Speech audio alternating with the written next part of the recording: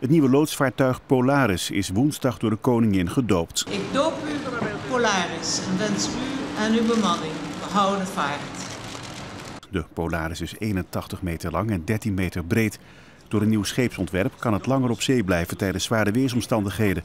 Het schip is speciaal ontworpen voor het grillige golfpatroon van de Noordzee.